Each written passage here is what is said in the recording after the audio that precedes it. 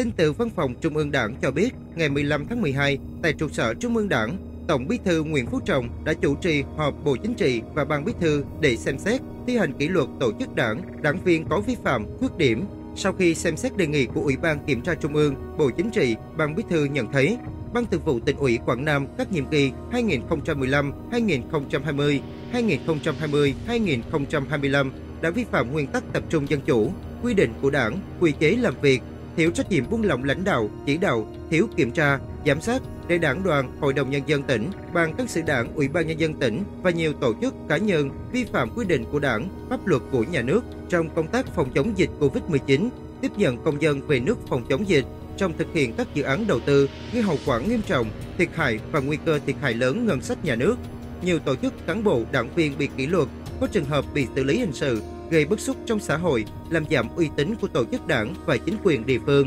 Ông Trần Văn Tân, Ủy viên Ban Thường vụ tỉnh ủy, Phó Bí thư Ban cán sự Đảng, Phó Chủ tịch Ủy ban nhân dân tỉnh Quảng Nam đã suy thoái về tư tưởng chính trị, đạo đức, lối sống, vi phạm quy định của Đảng, pháp luật của nhà nước, quy định những điều đảng viên không được làm và trách nhiệm nêu gương gây hậu quả rất nghiêm trọng, dư luận bức xúc, ảnh hưởng xấu đến uy tín của tổ chức đảng, chính quyền địa phương.